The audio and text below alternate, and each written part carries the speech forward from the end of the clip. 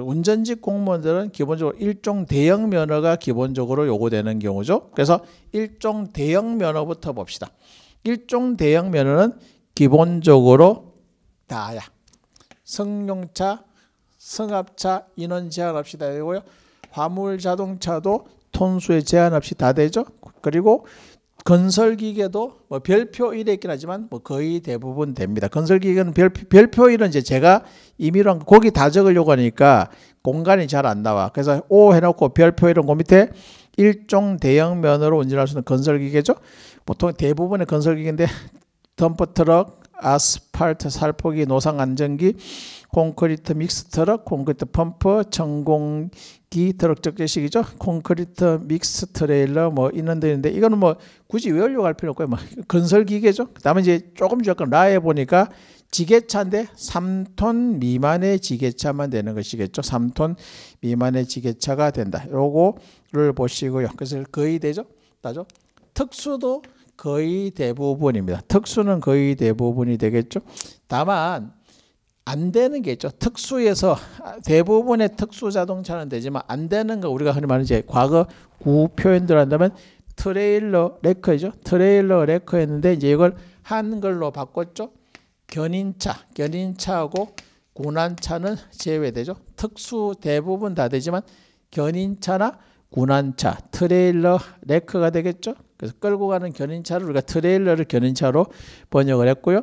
레커를 군안차로 바꾸기는 했었죠. 그래서 요거는 안 돼. 그러니까 얘 빼고 얘는 어디로 나오냐? 뒤에 특수에서 나오죠. 그래서 특수에서 보시면 뭐가 되느냐? 특수에 보시면 군안차가 가능한 것은 요, 요 공간인 거죠.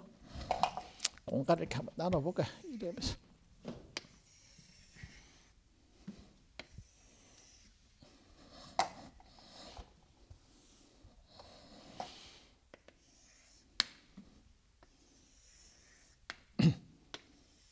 책에 있는 거니까 따로 적을 필요는 없고 이제 다음에 이게 박스를 제가 만들었는데 이게 어, 채워져 나가는 과정을 요 순서대로 하시는 것이 수험학적으로 훨씬 더 효과적이다라는 걸 한 번 더 언급을 해드립니다. 이렇게 하는 거죠. 그리고 요렇게 요렇게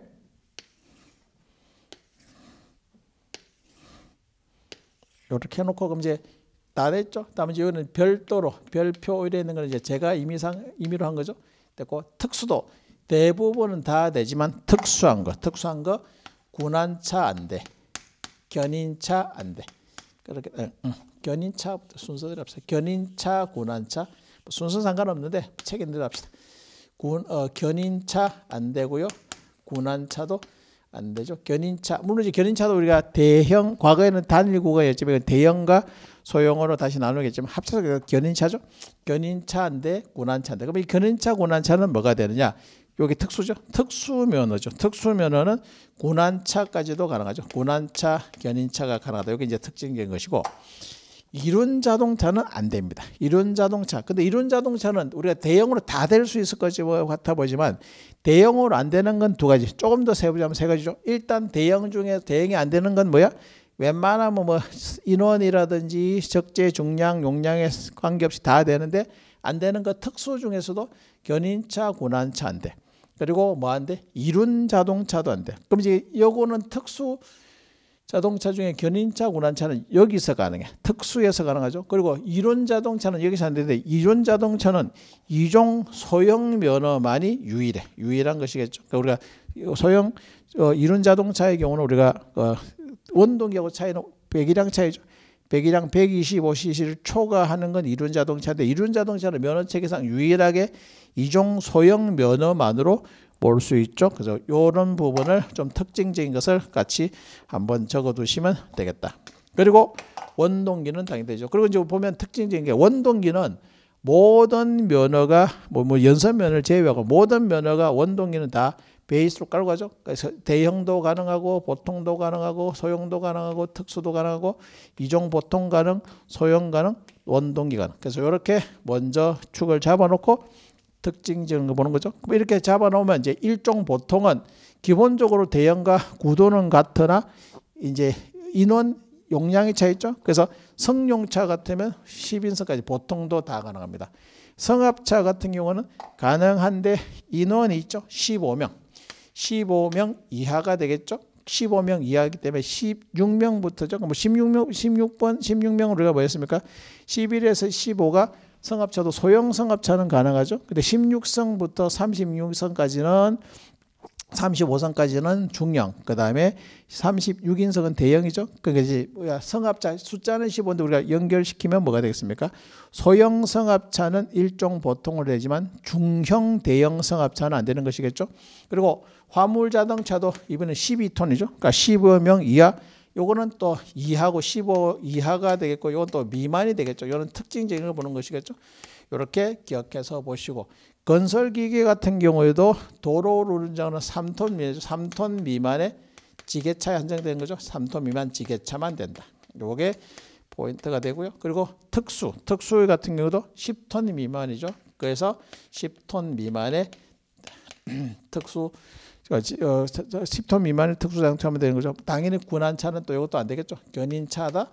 군한차는 역시 안 된다. 견인차나 군한차는 특수 면허만 되는 것이겠죠. 그래서 그는 이제 보통 면허도 기본적인 구도는 대형 면허하고 동일하나 인원의 소차겠죠. 그래서 이제 숫자를 15, 12, 3, 10 요 숫자죠. 그래서 15, 12, 30이 되겠죠. 그래서 다른 거는 요거는 이하고 나머지는 미만, 미만, 미만, 미만이니까 요 가끔씩 이제 문제를 물어볼 때 이런 미만 이하 이런 걸 또 시험 문제에서 한 번씩 물어보는 게 있으니까 그거 잘 기억해서 구분해서 보시면 되겠죠. 됐고요. 그럼 이제 이렇게 되고 소형 면허는 70년대, 60년대, 70년대 3륜차들이 있었죠. 요즘은 거의 뭐 3륜차 보기가 힘들잖아. 그렇기 때문에 뭐 현실적으로 의미는 없지만 아직 조문성을 쓰니까. 그래서 일종 소형은 요거죠. 소형 3륜 자동차죠. 3륜 자동차. 역시 화물 자동차도 3륜 자동차가 되겠죠. 그래서 요거만 되고 그 원동기 되고 그래서 소형면 일종 소형면은 뭐 사실상 현실적으로 거의 뭐 주변에 차, 요즘 3륜차가 잘 보기 힘드니까 큰 의미는 없죠. 뭐 실제 시험 문제 물어보는 경우도 거의 없습니다. 됐고 자 특수죠. 특수는 우리가 특수니까 뭔가 좀 특수할 것처럼 보이지만 기본적으로는 보통 면허와 같습니다. 그럼 이제 요거 역시 기본 구도는 그렇죠. 일단 승용차는 가능해.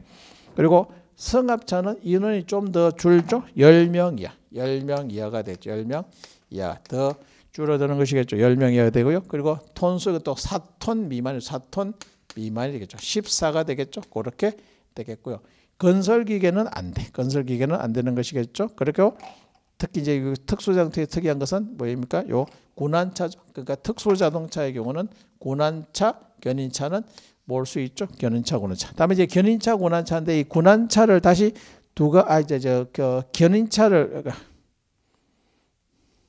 견인차를 다시 우리가 둘로 나누죠. 견인차를 다시 에이씨 순서가 바뀌어 이제.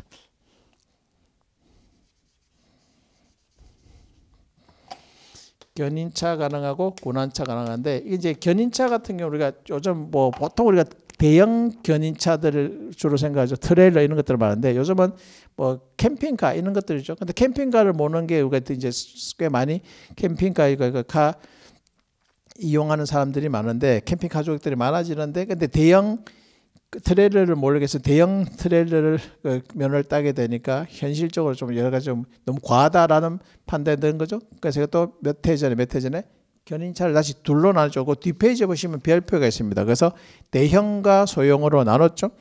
견인청은 되는데 군한 그러니까 견인형 특수 자동차가 되는데 소형은 3.5톤 이하죠. 그러니까 이렇게 캠핑카 생각하시면 되겠죠. 그 캠핑카 뒤에 끌고 가는 어, 경우가 많죠. 그래서 레저로 활용 그 이용하는 사람들이 레저 인구가 많아지면서 이렇게 대형 견인차를 다시 두 가지 구간을 놨죠. 그래서 견인 그리고 그 특수는 어 요거 말고 나머지는 이종 보통 면허죠. 그 이종 보통 면허를 바탕으로 한데 이제 플러스 알파 어, 대형 그 견인차 대 어, 그 대, 아니 뭐 대형이라기보다도 이제 뭡니까 이제 대형 견인차죠. 이거는 통상적인 어, 특수자동차고요. 소형 견인차 같은 경우에는 이제 3.5톤 이하의 견인형 특수자동차가 되겠죠. 군한차. 그래서 요건 특수자동차는 이종 보통을 그대로 끌고 가는 것이겠죠. 그러면 이 밑에 이종 보통은 요거 그대로 가는데 요거만 그죠 줄어드는 거죠. 그래서 역시 마찬가지로 승용차는 이종 보통도 돼. 똑같아. 그러면 역시 10인 이하 4톤 미만이죠. 14가 되겠죠. 그리고 여기서도 역시 3.5톤, 3.5톤 이하가 되게 3.5톤 이하가 되겠다. 역시 군한차는 안 되는 것이겠죠. 그래서 이렇게 제한이 있는 것이죠. 요 특징적인 걸 보시면 되고 역시 여전히 이륜 자동차 안 되고 원동기는 되고 이종 소형 이건 이제 유일하게 뭐였습니까? 할리 데이비슨이죠. 그래서 어, 이륜 자동차는 이형 이종 소형 면허만으로 유일하게 몰 수 있고 원동기도 되고 원동기는 그대로 원동기 딱 이렇게 돼 있죠. 그래서 요거 그러니까 여기 이제 박스를 채워나가는 과정이 그냥 여러분들이 보통의 책은 일종을 모르는 수 이거 쫙 열심히 요거 열심히 요거 열심히 따로 따로 열심히 요거 막상 문제를 풀려고 하면 문제를 적용하기가 적용하기가 상당히 좀 곤란하더라고. 그래서 제가 이제 수험생을 해봤고 내가 수험생이라면 이거 어떻게 할까라고 고민을 하다가 이제 고민 끝에 만들어진 도표가 되겠죠. 그래서 가로 세로로 해서 봐두시면 그럼 이제 뭔가 또 나름대로 규칙도 있죠. 그래서 제가 그냥 채워놓은 걸 그냥 평면적으로 하는 게 아니라 일단 대형부터 먼저 하고 특이한 거, 요, 특이한 거, 요거, 요거. 그리고 원동기 다 돼. 그리고 이제 보통부터는 구도는 같은데 숫자 15, 12, 30. 그리고 일종 특수나 이종 보통은 또 14죠. 14, 14. 그리고 뭐 3.5톤 요거는 뭐 플러스 알파로 한번 기억해서 보시면 아 요거 제가 미만이야.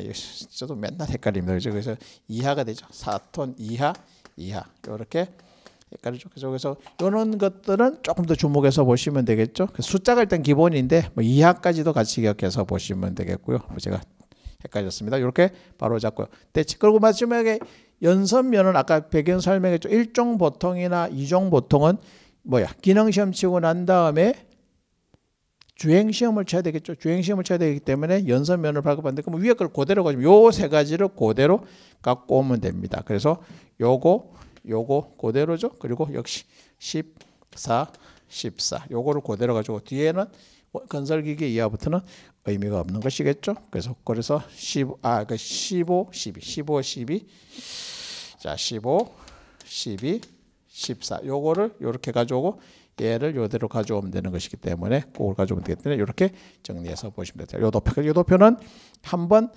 만들어내가는 걸 기계적으로 올 때도 외워야 되는 부분인데 외워야 되는 부분인데 제가 왜 이런 도표를 만들게 된 이유를 여러분한테 배경을 설명드렸죠. 여러분들도 그 점을 잘 고려해서 보시면 되겠다. 됐죠. 그럼 다음 페이지 보시면 이제 뭐 아까 별, 별표 1, 별표 2는 이거는 제가 임의로 실제 법조문은 이렇게 친절하게 안 돼 있거든요. 그래서 제가 이제 그걸 여기다 다 적게 해서 어려서 별표 1, 여기도 별표 2 이렇게 적어둔 부분을 같이 가면에서 보시면 되겠다. 됐고요. 그리고 다음에 196페이지 밑에 보니까 주 있죠. 요거는 이제 뭐 한번 읽어 보시면 되겠죠. 뭐 수험학적으로 그렇게 크게 의미 있거나 시험 문제 잘 나오지는 않죠. 이제 형식이 바뀌는데 종류가 바뀌거나 정원 중량이 감소될 때 이런 것들이죠. 바뀌기 전과 바뀌기 후의 내용으로 나와 있는데 요건 한번 읽어보시고 다음에 이제 위험물이죠. 위험물 같은 경우는 3톤 이하 위험물은 일단 일종만 돼. 그리고 이제 3톤 이하 3,000m 이하는 보통 가능하고요. 그걸 초과하면 대형 면허가 된다라고 하는 거죠. 그래서 그거는 위험물은 기본적으로 1톤인데 기준이 되는 3이죠. 3톤 그렇죠. 3톤 어, 이하, 3톤 이하, 그리고 3,000리터 이하할 때는 보통. 그다음에 그걸 초과할 때는 대형. 요거는 한 번 정도 보시고 뭐 피견인 자동차는 한번 읽어보시면 되겠죠. 자 그리고 운전면허 조건 봅시다. 운전면허는 필요한 조건을 부과하거나 조건을 변경하는 게 가능하다. 시도경찰청장이 면허 발급권자니까 면허를 발급해 주면서 필요한 조건을 부과하거나 내용을 변경하는 건 가능하죠. 새로 근데 어떤 걸 붙이느냐 조건의 종류가 밑에 시행 규칙에 나와 있죠. 자동차 등의 구조를 한정하는 것. 가 자동 변속기 장치 자동차만을 어, 운전하도록 우리가 보통 일상생활 오토 전용 이렇게 하는 거죠. 그 오토만 몰 수 있는 그저 그 조건을 하는 경우 또는 3륜 이상의 원동기 장치 자전거만 어떤 특수한 어, 그 제한을 가한 조건을 다는 거죠. 또는 가속 페달 또는 브레이크를 손으로 보통 우리가 가속 페달이나 악셀레이터 브레이크는 발로 하는데 에서 하반신에 장애가 있다. 근데 상반신은 가능하다. 그랬을 때는 이제 뭡니까?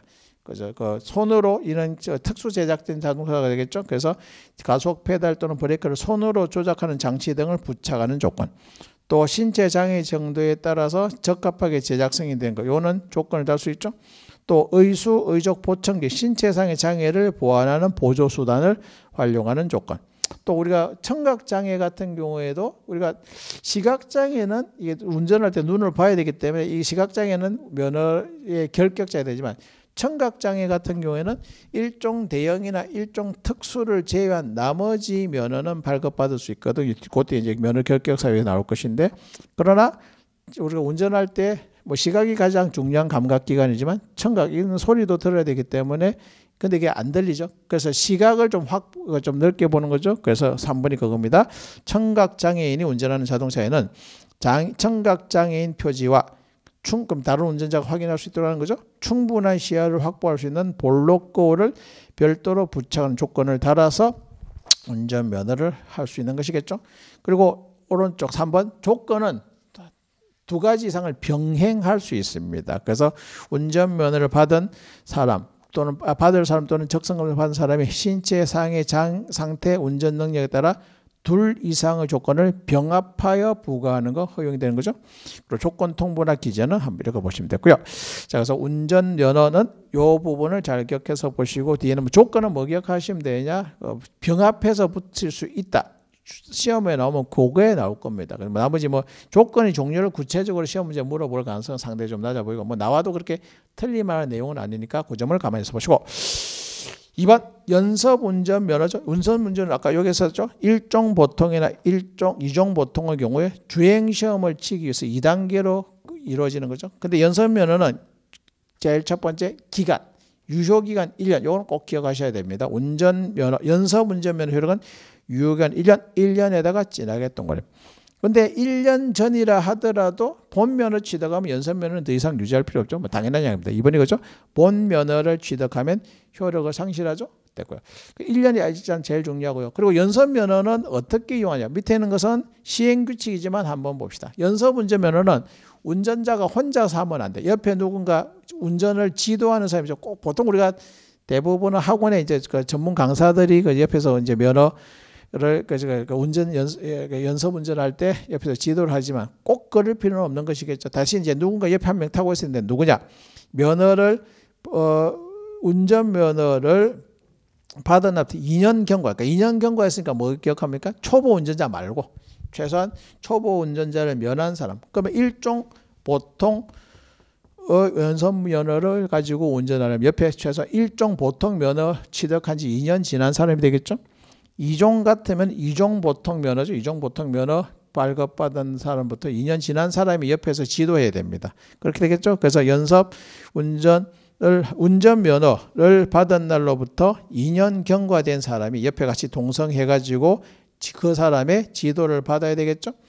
첫 번째. 그리고 연습 면허는 뭐 주행 연습을 목적으로 하기 때문에 뭐 영업으로 사용을 하면 안 되겠죠. 당연한 거죠. 그래서 여객 자동차 운수 사업법, 화물 자동차 운수 사업법에 따른 사업용 자동차를 운전하는 등 주행 연습 외의 목적으로 운전하면 안 되죠. 글자가 연습용이니까. 그리고 연습 중인 자동차 이거 별표 표지 붙이죠. 그래서 연, 주행 연습 이런 것들을 붙이도록 되어 있는 것이죠. 요거는 한 번 정도 봐두시면 됩니다. 특히 이제 첫 번째 걸 잘 기억해서 보셔야 되겠죠.